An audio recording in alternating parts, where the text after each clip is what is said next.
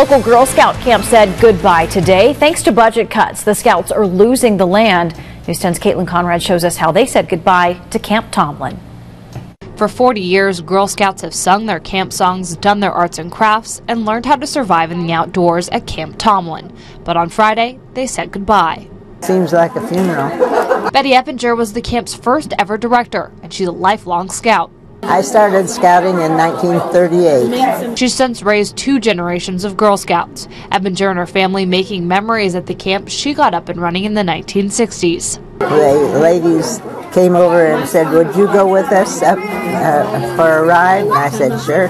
The scout leaders took her up to see the land, and she says from the first time she drove in, she was hooked. I thought it was beautiful. It was just beautiful, and it still is. Nature's beauty helping to make Girl Scouts into women for decades.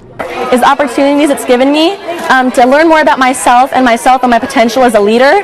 Next year, organizers are still planning to have a camp. They just don't know where yet. But Scouts say it won't be the same.